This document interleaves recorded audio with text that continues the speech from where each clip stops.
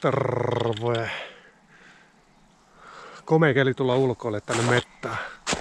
Varsinkin tässä tilanteessa niin tekee hyvää päälle.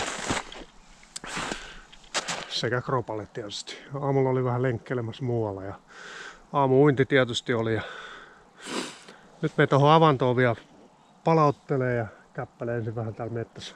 Tässä on tää meidän pienempi golfkenttä, se ei ole vielä auki. Eikä varmaan ihan heti aukeekaan.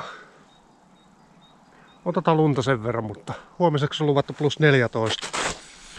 Kyllä se siitä, kyllä se siitä. Ei muuta kuin mailoja kuntoja. ylös sieltä sohvalta ei nyt.